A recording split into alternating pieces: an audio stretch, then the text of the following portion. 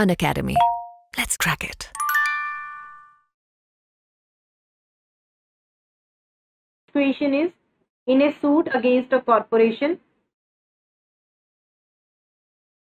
The summons may be served on any employee of the corporation, relative of the director of the corporation, principal officer of the corporation, or none of the above. This question is from 2017.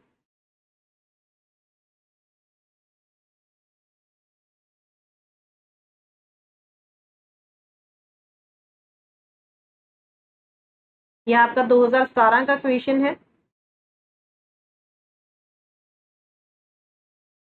Other students